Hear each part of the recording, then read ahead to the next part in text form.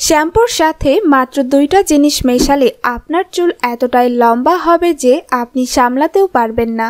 জি হ্যাঁ বন্ধুরা, আমি আজকে আপনার জন্য এমন একটি কার্যকর উপায় নিয়ে এসেছি যাতে আপনারা জানতে পারবেন কীভাবে আপনি আপনার চুলকে লম্বা, ঘন এবং কালো করতে পারবেন।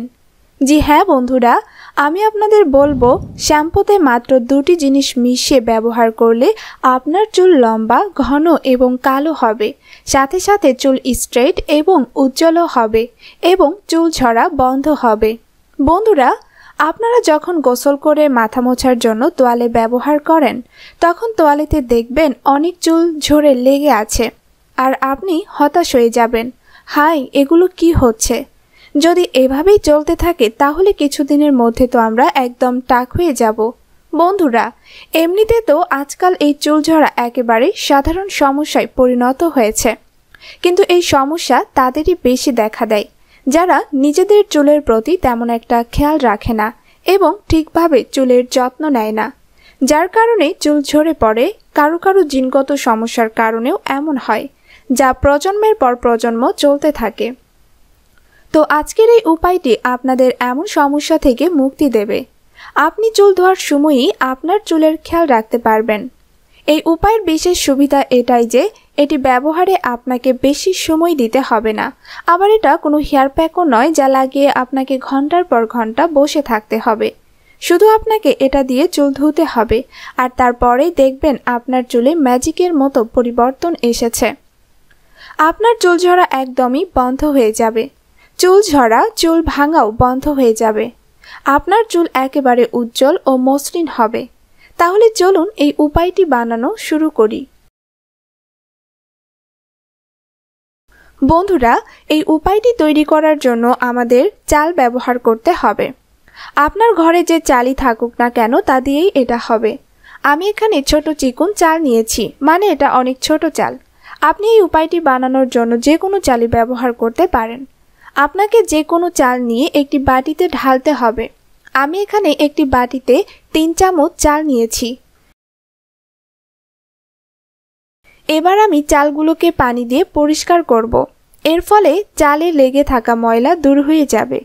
তো হাত দিয়ে ভালোভাবে কচলিয়ে ধুয়ে নিতে হবে, যাতে এর ওপরে যে ময়লার আস্তরণটা আছে তা পরিষ্কার হয়ে যায়।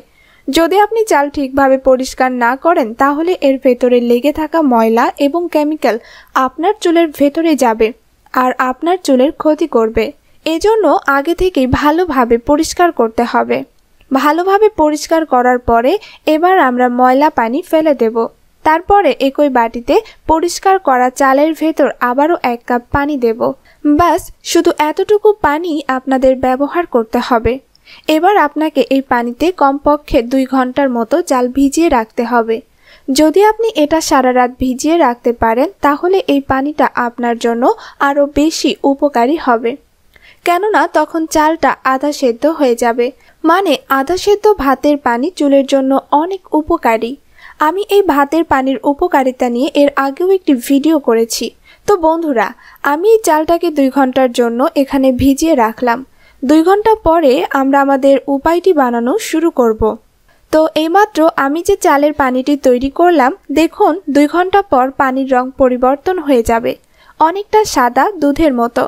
আর এই রয়ে যাওয়া চালটা আপনারা চাইলে ব্যবহার করতে পারেন, অথবা এটা দিয়ে একটি পেস্ট তৈরি করে ফেস প্যাক ব্যবহার করতে পারেন, অথবা অন্য চালের সাথে মিলিয়ে ভাত রান্না করে খেয়ে ফেলতে পারেন। বন্ধুরা এই চালের পানি আপনার চুল এবং ত্বক দুটোর জন্যই অনেক উপকারী।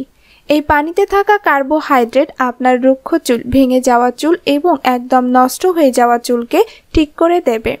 আর এটা ব্যবহার করে আপনার চুল ধুলে আপনার চুলের ওপর একটি স্তর পড়বে, যা চুলকে বিভিন্ন সমস্যা থেকে এটি বাঁচাবে। এছাড়া চালের পানিতে অ্যামিনো অ্যাসিড রয়েছে, যা চুলকে কালো, ঘন ও লম্বা করে তুলবে। এছাড়া এটি চুলের গোড়া মজবুত করে দেয়, যাতে চুল ঝরা বন্ধ হয়।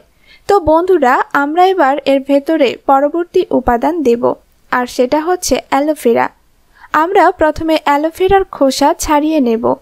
এরপর এর ভেতর থেকে যে জেল পাওয়া যাবে তা আপনার চুলের জন্য অনেক উপকারী। যদি আপনাদের কাছে এমন অ্যালোভেরা পাতা না থাকে, তাহলে আপনারা বাজার থেকে একদম প্রাকৃতিক ও হার্বাল অ্যালোভেরা জেল কিনে ব্যবহার করতে পারেন। আমি এখানে বড় এক চামচ অ্যালোভেরা জেল নিয়ে নেব। আর যদি আপনারা বাজারের কেনা অ্যালোভেরা ব্যবহার করেন, তাহলেও তার এক চামচ ব্যবহার করবেন। অ্যালোভেরাকে ঘরোয়াভাবে তৈরি উপায় সমূহের উৎকৃষ্ট উপাদান হিসাবে মানা হয়। এতে পর্যাপ্ত পরিমাণে অ্যামিনো অ্যাসিড পাওয়া যায়। আর সাথে প্রতিউলিক অ্যানজাইমও পাওয়া যায়, যা চুলের গোড়া মজবুত করে চুলকে গোড়া থেকে চুল ঝরা বন্ধ করে। চুল লম্বা করে। আর সাথে চুলকে মসৃণ ও উজ্জ্বল করে। এবার এই উপায়ে পরবর্তীতে যে উপাদান দিতে হবে তা হচ্ছে শ্যাম্পু।